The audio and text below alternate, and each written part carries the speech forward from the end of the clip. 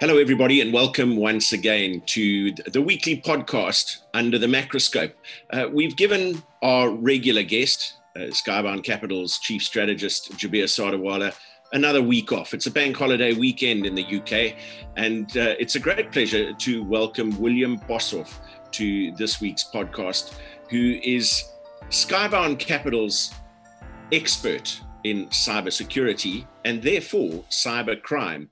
And why do we think this is such an important podcast issue? It, it is a macro issue. It's affecting economies, it's affecting companies all over the planet. And especially in the last uh, 16 to 18 months, as so much of what we've done in the workplace has been done in an online or digital world. It has opened up a whole new world of opportunity for cyber criminals. So, cybersecurity really is a very important and hot topic at the moment and will be going forward. So, William, welcome to Under the Macroscope. We look forward to hearing some of your vo- views on the most uh, pertinent issues in the space.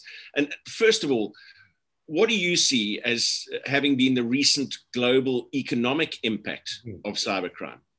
Well, you know, Matt, it's very interesting that just in the last week, there's been two real major uh, headlines that I think is worth paying attention to. The first being the Colonial Pipeline in the US, which has been taken to a halt due to ransomware, which ransomware is a very specific type of, of malware, which sole purpose is to lock up and encrypt a victim's data and thereby rendering the systems unusable. And the same goes for the Irish Health Service here in the UK, which has undergone a similar uh, attack, which has, of course, you know, far-reaching consequences.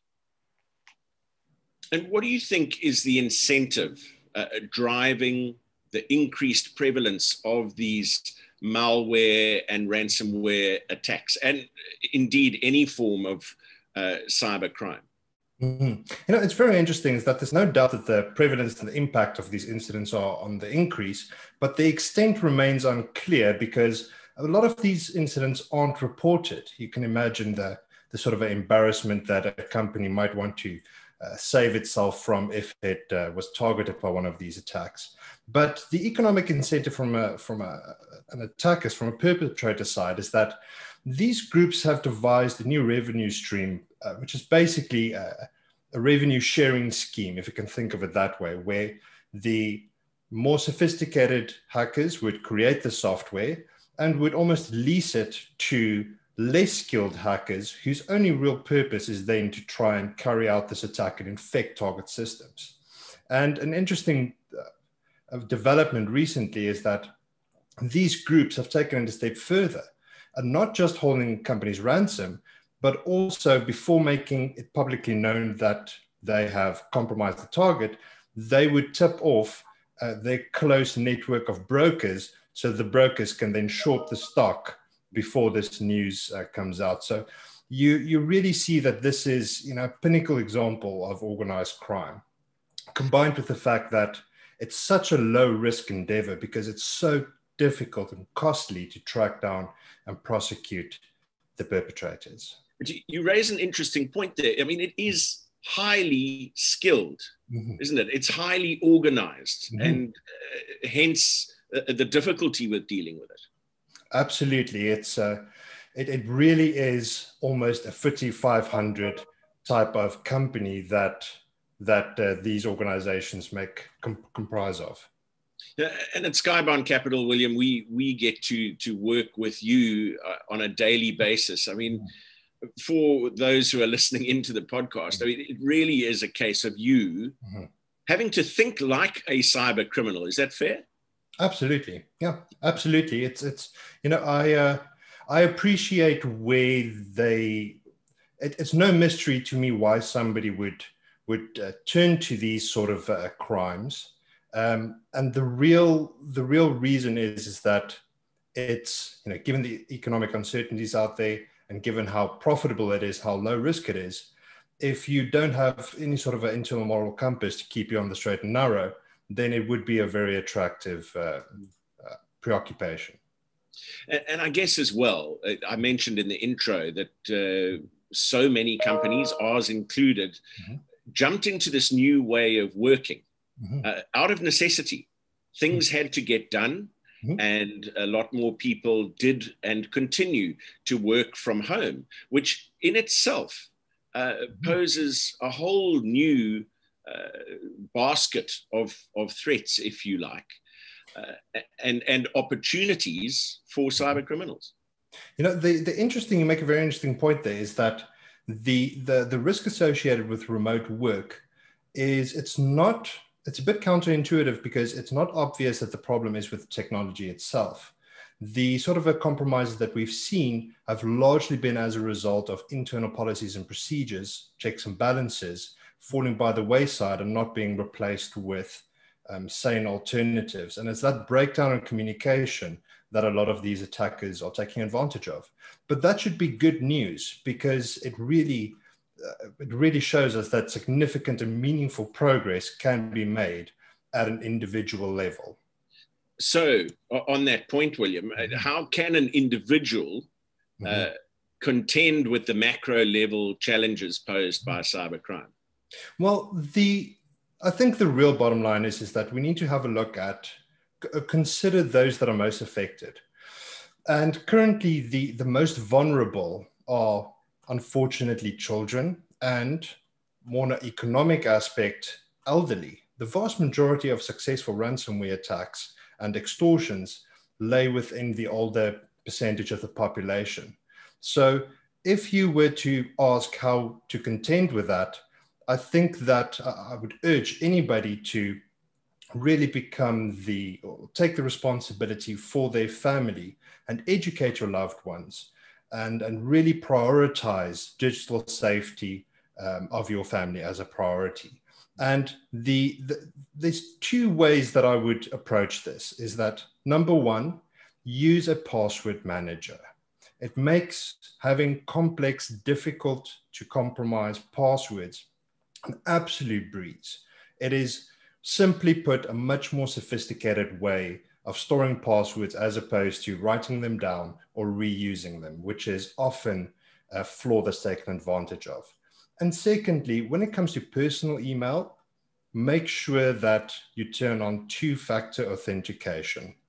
This is simply the sort of an OTP equivalent that you have for online banking. That is a feature that you can enable for free on most personal email platforms. If you do just those two things for you and your loved ones, then you really put yourself ahead of the pack by a large margin.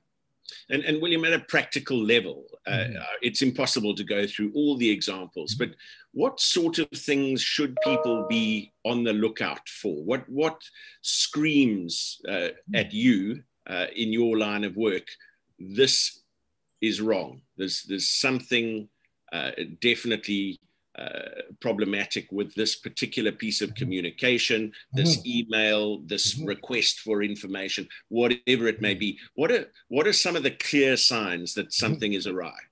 You know, hackers are all about exploiting vulnerabilities.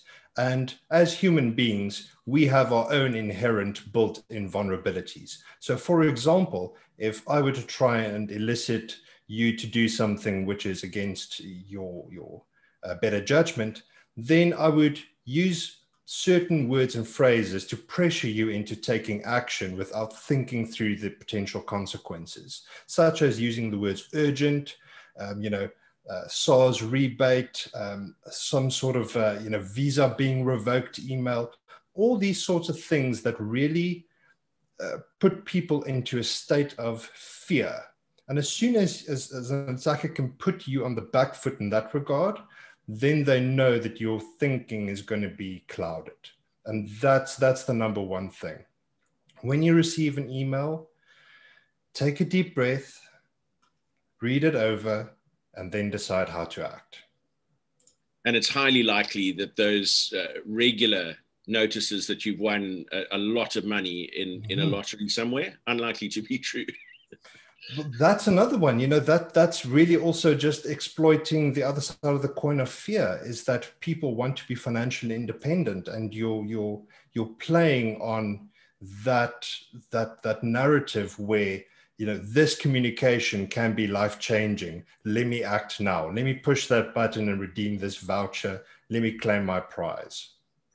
William, uh, we've spoken about the sophistication of this world, and, and that in itself tells you that, that, that it really is a business. It, it, might not be a business that uh, the vast majority of us ascribe to or, or, agree with, but that is the nature of any crime. And uh, there have been many crime syndicates long mm. before the days of cybercrime. So I guess the obvious question for you is where, where is this going? What, what do you see in your world in the immediate and medium term future? Well, there's, there's, there's two main things that I would say is, is really worth considering. And that is the fact that currently, as I speak, there's only 4.6 billion active internet users, which is just shy of 60% of the world's population. That is set to increase drastically in the, in the coming few years. So you're going to have an enormous amount of new people being exposed to challenges which even those of us who have been online for as long as we have are, are struggling with. So there's going to be more people that, that's vulnerable and susceptible to these challenges. So that's number one. Number two is, is that I can foresee that it would likely become illegal for companies to pay a ransom to these organizations in order to release their data. Um, I think that we we've already seen that in the US, where you know the motto "We don't negotiate with terrorists" is is almost a hallmark of any good action movie. But um, you know the, the result will almost certainly be a horrific game of chicken in the short term. But ultimately, I think it's the right decision in the long run, because as long as we incentivize this sort of organizational crime syndicate, it will continue to to operate. Well, it is a, a space that we owe it to ourselves, our clients, our families, as you mentioned, to, to mm-hmm. stay very close to and to be constantly aware. Sad as it might seem, we have to be vigilant uh, in, in this relatively new uh, area of crime. So we feel very reassured that you are firmly ensconced in our team and that you are constantly trying to second guess. But as always, great to hear your views uh, and uh, to reassure people that uh, you have this area of our business uh, under your microscope. And uh, great to be able to catch up with you on our podcast this afternoon. Uh, don't forget that Under the Macroscope is available on Apple on Spotify, on the Google podcast platform for Android, and all our past podcasts are available at Skybound Capital's website at skyboundcapital.com.